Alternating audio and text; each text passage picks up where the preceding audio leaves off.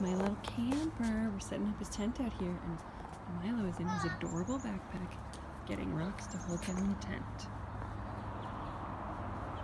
Good job, buddy.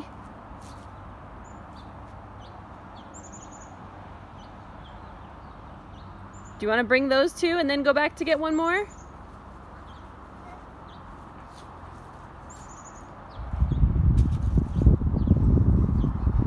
Dropped one.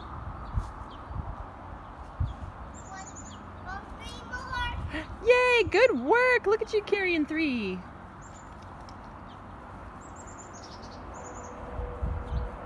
I'll come help ya.